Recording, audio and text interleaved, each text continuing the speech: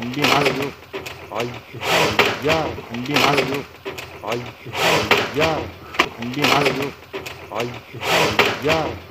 திண்டுக்கல் மாவட்டம் கொடைக்கானலில் வனவிலங்குகளின் நடமாட்டம் நாளுக்கு நாள் அதிகரித்து வருகிறது. கொடைக்கானல் நகர் பகுதிகளில் தற்போது அதிக அளவில் காட்டெருமைகள் உலா வருவது வழக்கமாகியுள்ளது. இவ்வாறாக உலா வரும் காட்டெருமை கூட்டம் பொதுமக்களை அச்சுறுத்தியும் விவசாய நிலங்களை சேதப்படுத்தியும் வருகிறது. தொடர்ந்து கொடைக்கானல் பழைய அப்பர் லேக் வியூ சாலையில் குடியிருப்பு பகுதியில் இன்று உலா வந்த காட்டெருமை ஒன்று அப்பகுதியில் நிறுத்தி வைக்கப்பட்டிருந்த இருசக்கர வாகனம் ஒன்றை ஆக்ரோஷமாக சேதப்படுத்தியுள்ளது. இது குறித்தான வீடியோ தற்போது இணையதளங்களில் வைரலாகி பரவி வருகிறது.